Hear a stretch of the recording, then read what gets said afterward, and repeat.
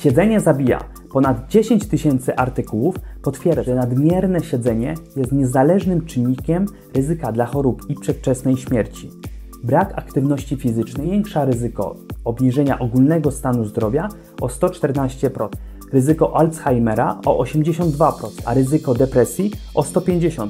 Zaobserwowano zmniejszenie śmiertelności z jakiejkolwiek przyczyny o 20% przy półtorej godziny na tydzień umiarkowanej aktywności fizycznej. Światowe organizacje zalecają minimum 150 umiarkowanej aktywności fizycznej, czyli wystarczy 20 minut dziennie spaceru, aby wydłużyć swoje życie i uchronić się od wielu chorób.